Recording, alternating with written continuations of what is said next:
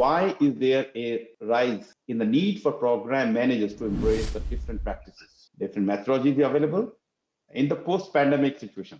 Well, I think from a program manager's perspective, uh, we have to look at sustainability of our programs. Um, certainly given changes in economic factors or politics or demographics, um, because we hear a lot about resources jumping ship, we have to try and focus on what it takes to keep our program sustainable. Um, we have to make sure that our team's morale uh, is maintained and uh, that productivity is still kept at the levels that are acceptable both to our internal and external clients.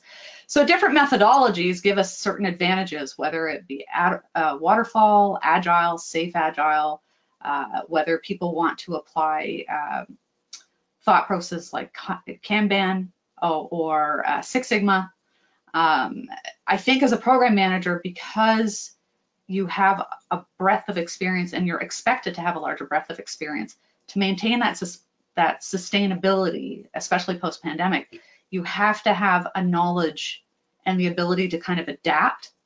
Um, so I think that that's why uh, you have to be able to embrace different practices. There's not one pat answer that is the key to success. So if you can kind of take the best practice or the, you know, what works for you from each little bit to put together a, productive team and uh, achieve your objectives, then you know that's what you have to do. And I think for most program managers today, uh, even project managers, um, that's what they do. It's not like they follow just one way of doing things. Um, it can be labeled one way, and everybody calls it agile. But at the end of the day, if you really looked at what people were doing, you would see that it's like waterfall on steroids or maybe it's safe agile, or maybe it's uh, Six Sigma following.